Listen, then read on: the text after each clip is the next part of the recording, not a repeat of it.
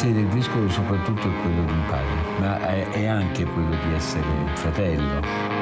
Inizia presto la giornata di Monsignor Zuppi, vescovo in bicicletta, vive in una casa di riposo per sacerdoti a Bologna. Don Matteo, per le tante anime, le pecorelle, forse direbbe lui, che lo hanno incontrato in questi anni, prima a Roma, alla comunità di Sant'Egidio e adesso nell'arcidiocesi di Bologna.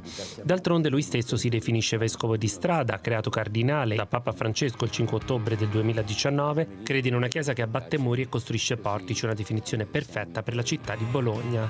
Oh, ma avete mangiato voi? Io ho mangiato le tagliatelle che mi sa che mi fermo a Bologna con tutte queste tagliatelle. E infatti l'abbraccio di Bologna è stato immediato e questo bel docufilm diretto da Emilio Marrese lo racconta.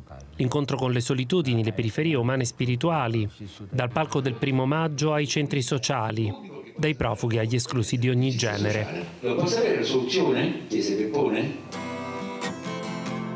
La macchina da presa segue Zuppi nella sua giornata, anche nei momenti centrali del suo apostolato, con l'aiuto della musica di Bob Messini e con la complicità di Alessandro Bergonzoni che intervista Monsignor Zuppi in un originale faccia a faccia. Il contrario della paura, a mio parere, comunque non è il coraggio. Il contrario della paura è sempre l'amore.